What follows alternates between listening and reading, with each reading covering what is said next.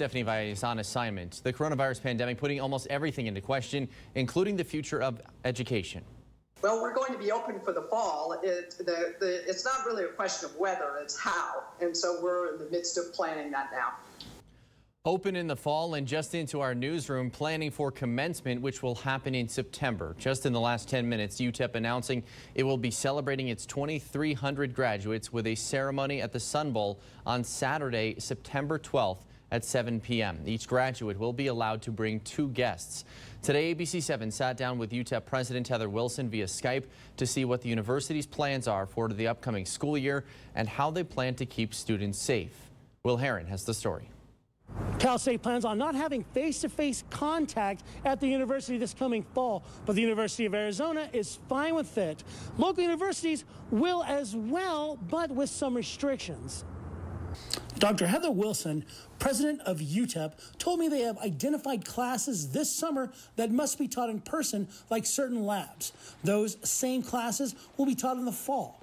What they learn from observing in the summer, they will implement in the fall semester. Education is going to be part of America's recovery, and it always has been. And, and as we try to build the economy back from a tremendous shock, higher education is going to be crucial. And we have to meet that challenge for the community we serve. UTEP has facility managers going through each classroom on campus to find out their capacities and how they will fit the students in with proper social distancing. Dr. Wilson said she was given guidance from the University of Texas system chancellor, but he realizes each community is different and gave her plenty of latitude to plan for the fall.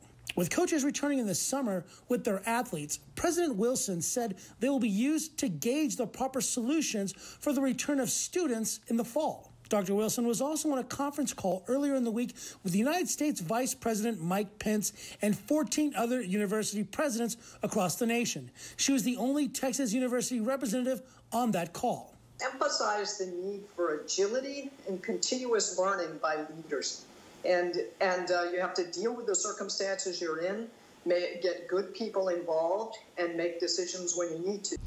Coming up at 6, we'll have what NMSU is doing to protect their returning students and the special message President Wilson had for her graduating Miners this year. Here on the west side of El Paso, I'm Will Heron, ABC 7.